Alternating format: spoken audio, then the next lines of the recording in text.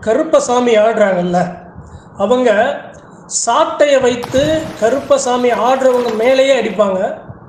அதே சமயம் அந்த சாட்டையை வைத்து ஒரு சில குல மக்கள் மேலேயே அடிப்பாங்க.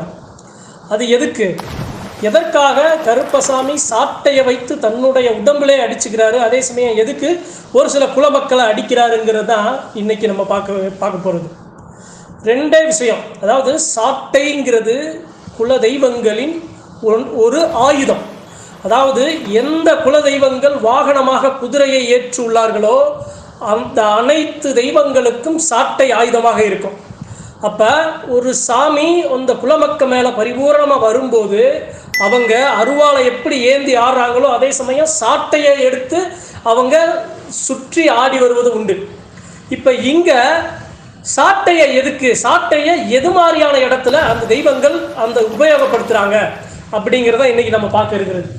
முதல் விஷயம் சாட்டையடி. அதாவது சாட்டையடி எதுக்கு வந்து ஒரு க- ஒரு ஒரு குலதெய்வத்தை சுமக்கிறவர் அவரை தன்னைத்தானே அடுக்க அடிக்க அடிச்சு கொள்றதுக்கு காரணம் ரெண்டு விஷயம் இருக்கு.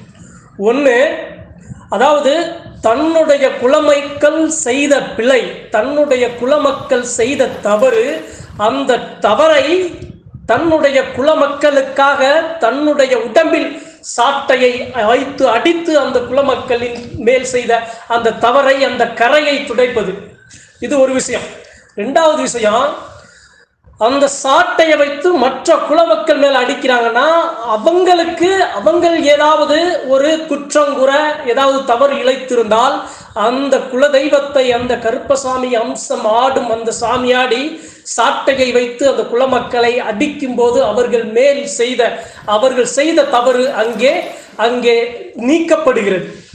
இதை இதை நான் ஏன் சொல்கிறேன் அப்படின்னா இது பெரும்பாலும் ஒரு சில பேருக்கு தெரிஞ்சிருக்கும் ஆனால் தெரியாதவங்களுக்கு இதை தெரியப்படுத்தணுங்கிறதுக்காக தான் இன்னைக்கு ரெண்டு இந்த ரெண்டை நான் உங்கள்கிட்ட சொல்கிறேன் சாமி ஆடுறாங்க அப்படின்னா எதற்காக கருப்பசாமி மேலே அடிக்கிறாங்கன்னா முதல் விஷயம் தன்னுடைய அதாவது நம்ம அப்பன்னு சொல்லுவோம் யார? கருப்பனை. அப்ப அவருடைய பிள்ளைகள் தான் நம்ம. அப்ப தன்னுடைய பிள்ளைகள் செய்த தவறுக்கு பரிகாரமாக தான் மேல் அந்த சாட்டையை அடித்து அதை நீக்கி அவர்களை அதிலிருந்து நல்வழியில் மீட்டு கொண்டு வருவது.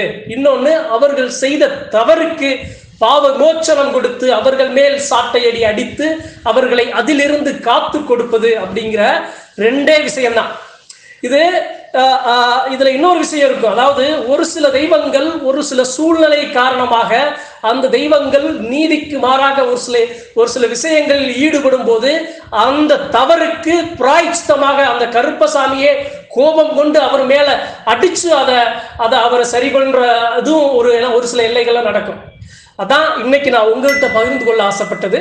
நன்றி வணக்கம். மற்றும் ஒரு பதிவில் சந்திப்போம்.